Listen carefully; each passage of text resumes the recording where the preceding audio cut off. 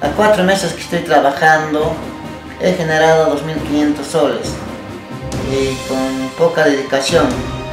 Si yo me enfoco bien en el trabajo, de acá a dos años estaré muy diferente de hoy.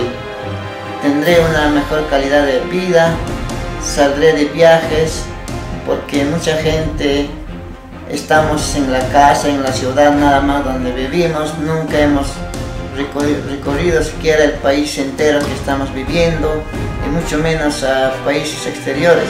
Pero mis sueños son conocer eh, a muchos países y mi país mismo